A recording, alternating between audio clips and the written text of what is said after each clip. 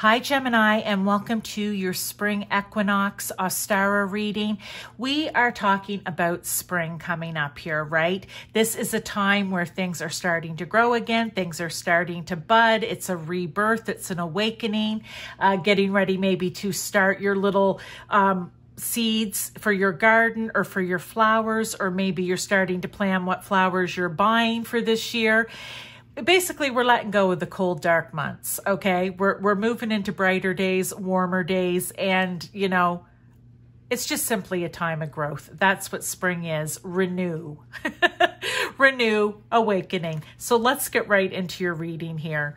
Um, and just because we're doing this at spring equinox whenever you see this reading it is okay right? These are timeless readings. So what is the overall energy of this spring equinox for you, Gemini? Inspiration. Isis, goddess of magic, I ask thee to bring your inspiration to me. Pretty, pretty straightforward. I like that. So, overall message for you this spring inspiration. Let's take a look at the rest of the cards, ask some more questions. We'll be doing live tarot and oracle at the end, too. So, what seeds should you be planting for yourself? We have the gnomes, humanity, friendship, hard work, little visions.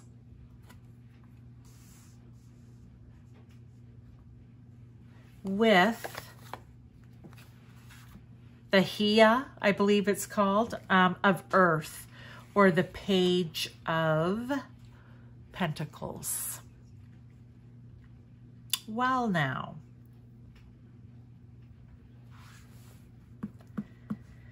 I like this with the Page of Pentacles, right? The pages are always, as I say, young, curious. They love learning new things. But the Page of Pentacles, he may be a little more regimented than the other pages, even though they're young and, and curious and full of youth, we'll say. But they're really um, focused on manifestation. They're really focused on new opportunities, even maybe when it comes to finances. And look at all the green here, okay? Um, developing new skills that they're not afraid of some hard work. Because what I'm seeing here is hard work and little visions. And with inspiration, well, isn't that so perfect? Because that reminds me, even though it's green, it reminds me of that Sagittarius or Jupiter energy, fire energy in general, right? Being inspired about things, being passionate about things, um, having grand visions, like, say, the King of Wands, where you see things big picture and you have great ideas and you want to um, make them happen. And I feel that this is saying, you know, what seeds should you be planting for yourself? What what big plans have you been thinking about? What big dreams do you have? What uh, big visionary ideas do you have? Is it about humanitarianism? Is it with friendships? It's going to be different for everyone. But there is something that I want to say for you, Gemini, and you guys are the idea people, and you have a lot of them. And I know that that is a bit of, um, you know, putting Gemini into a box, but you are quick thinkers usually. You can have many different ideas and things that you want to do on the go. Doesn't speak to all Geminis, but it is a Gemini energy, okay? So I feel that you probably have a lot of great ideas or a lot of things that you've been working hard on, and maybe you just haven't actually planted the seed yet. You've been thinking about it, but you haven't actually started taking the steps to make it happen, to bring it to manifestation. And this is your message. You know what? It's time you start getting serious about manif manifesting this. It's time you start getting serious about um, planting those seeds, getting outside, doing the hard work, and making those I'm not saying little visions. That's what the card says. Your big visions, your big picture thoughts, feelings, dreams into reality. You need to plant those seeds. I talk about this also in new and full moon readings um, every month. You can check them out in a playlist. New moon is about planting the seeds. Full moon is releasing and letting go.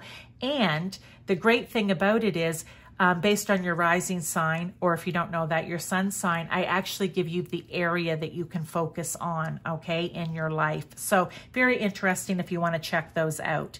We have a full moon coming up not too, too far away now.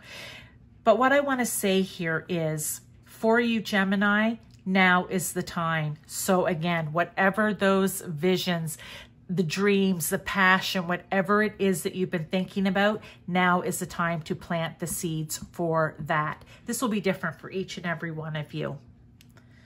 But that's what you need to do. This you you need to bring your inspiration, what it is that your power um power, what it is that you are passionate about and maybe feel quite powerful even towards or about.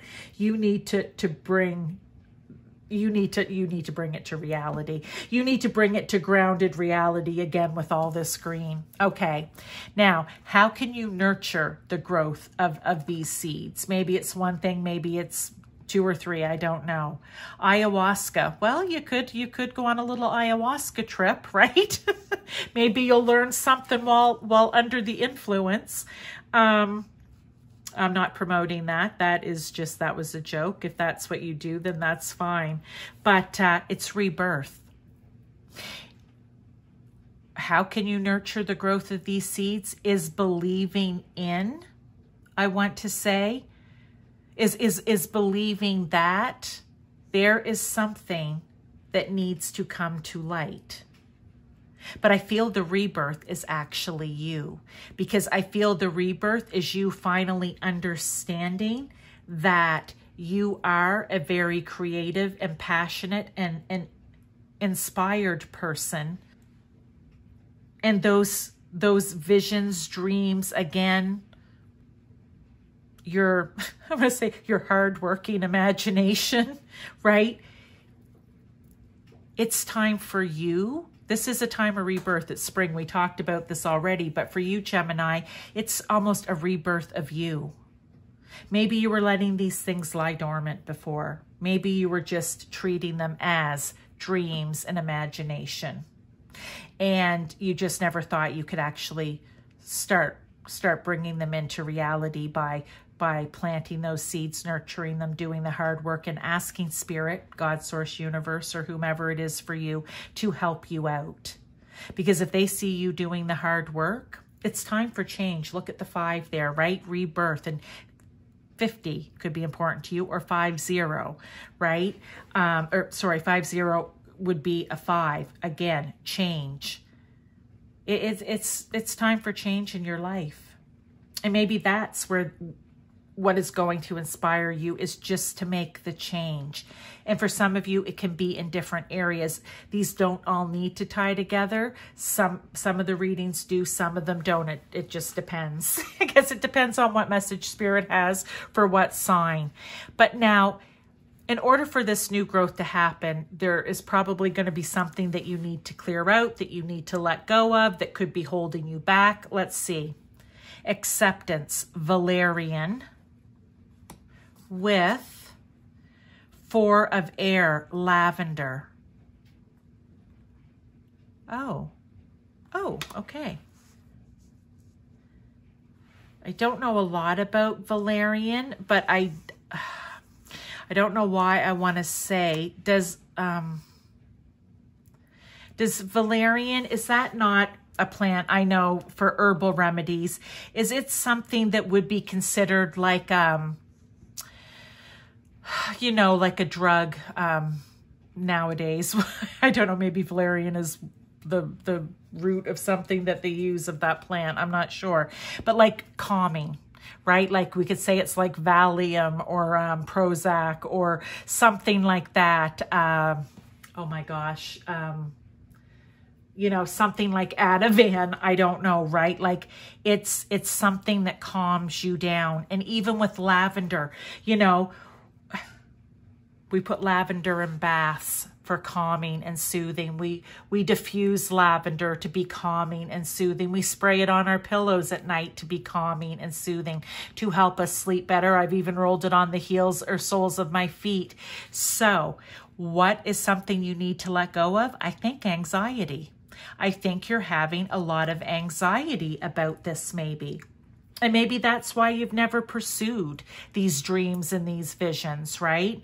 Maybe that's why you've you, you've never let the inspiration flow because you've you are anxious about it or you are um, worried. Uh, you have anxiety over it.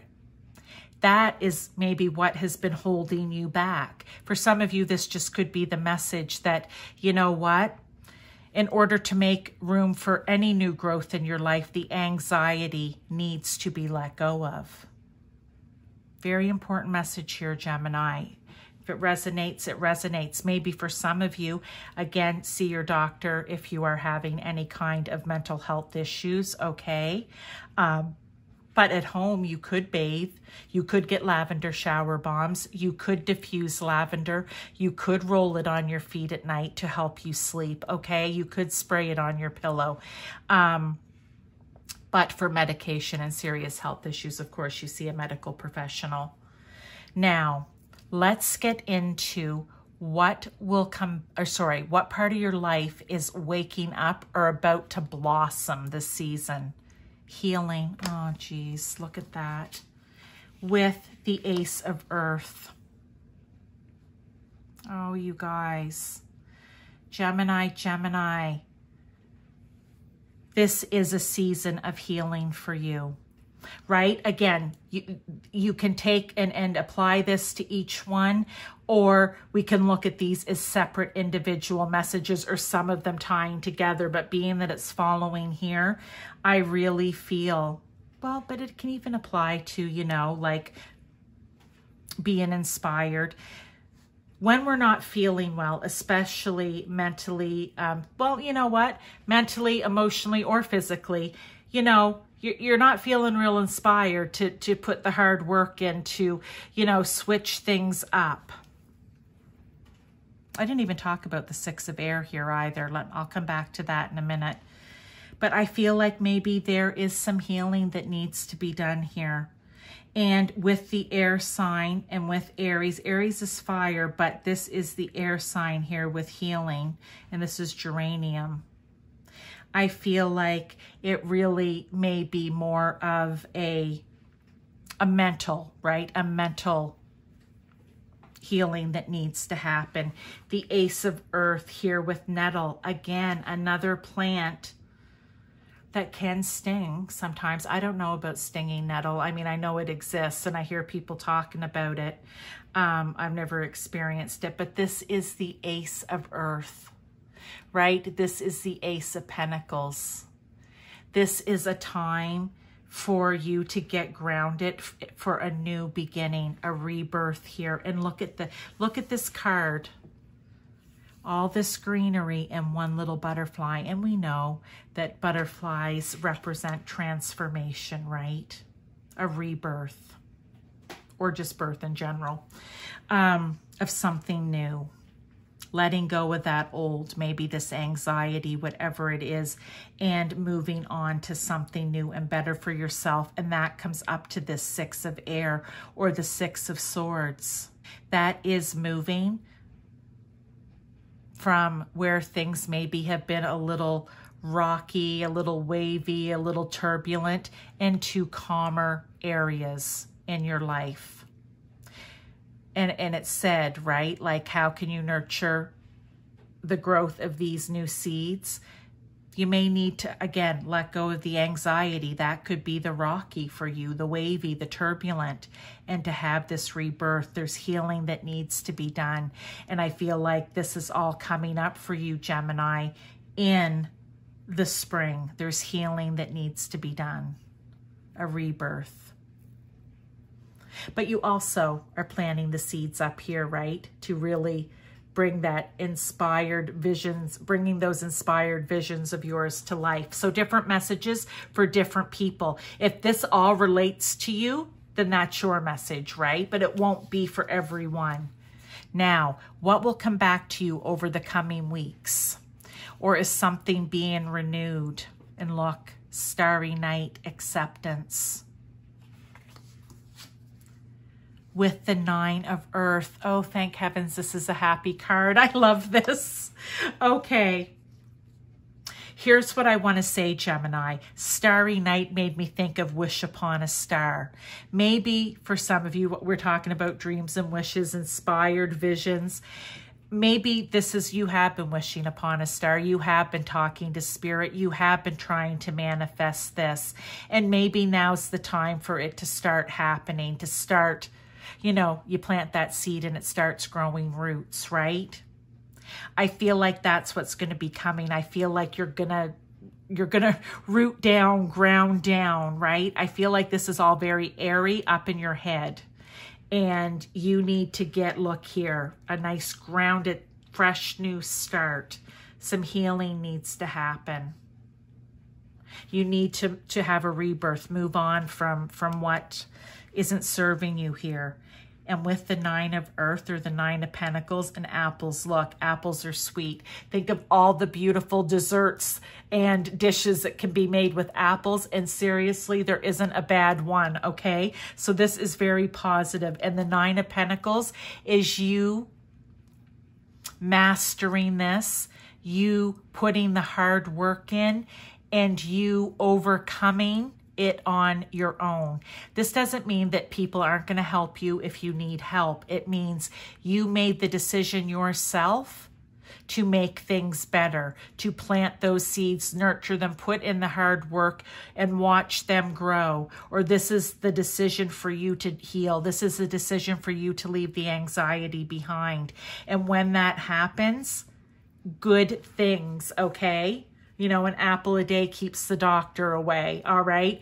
Good things will will happen for you.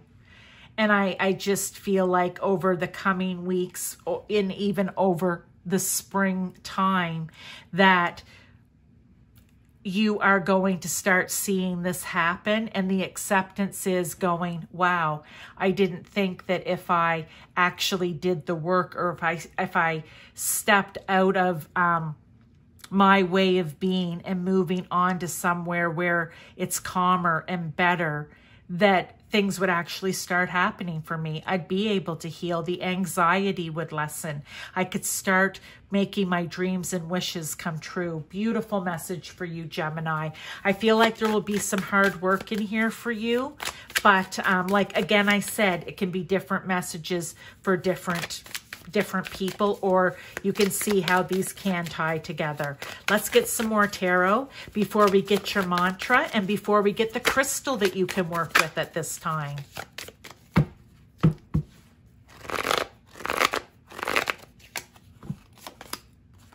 Four of Wands, celebration, okay? The Four of Wands, I also like to think of as balance. Look, she's like standing like I, I climbed up the stairs. I've made it to the top. It's time to celebrate. They're saying you can reach this the top of this mountain. You're down in the depths right now, maybe for some of you, you can reach the top, whether it's making these dreams and wishes come true or dealing with the anxiety, the healing, whatever it may be. So I love that confirmation. Now let's get, okay, we actually had two come out perfect. We have the Two of Swords and the Chariot. Well, the Two of Swords is you've come to a crossroads right now, and maybe this is the message that you're hearing at your crossroads.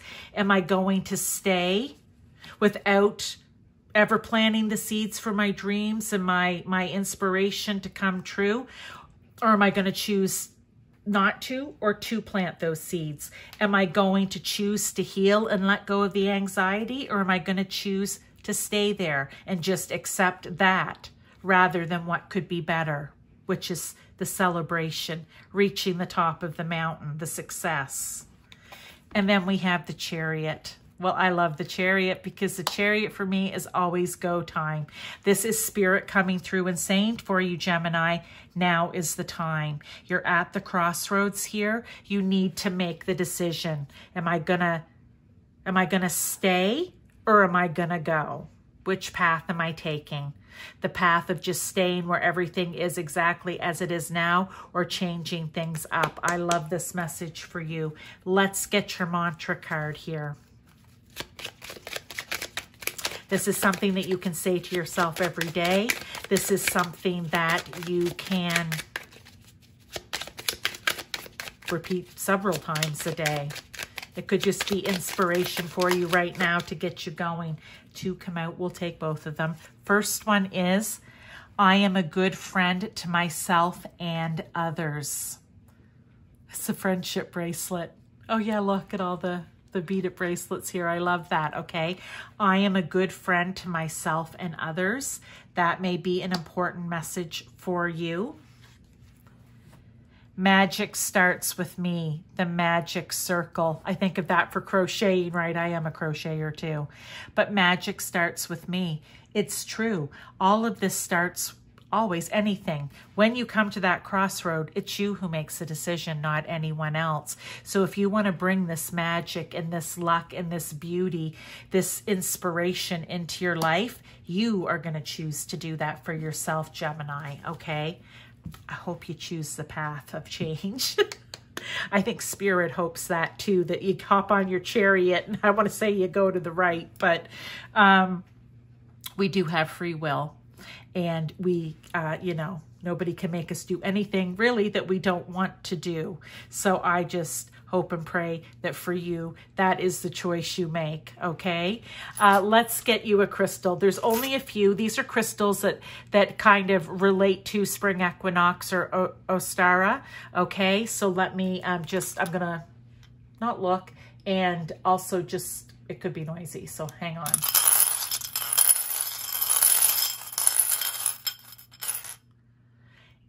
Amethyst. This amethyst has been coming out now for a bunch of people. And it's not like I'm not feeling the other ones. I don't even, oh, anyway, it's just, it's just interesting. So amethyst, look, this is boosting your intuitive abilities. So what I want to say is, you know, Gemini, you are an air sign. That can mean that you do tend to be up in your head a little more, lots of thoughts, lots of ideas swirling around. Um, but with the amethyst, it's you need to start using your intuition more. You need to boost that intuitive ability where you're not just, I want to say, flying by the seat of your pants when you're all up in your head, but you're balancing that out with your intuitive knowing, not just your mental knowing, right? You need mental clarity and your intuition working together here, okay? And trusting that and trusting that to help you through these situations. So that is your main reading, Gemini. Thank you for being here, and I will see you in your next reading.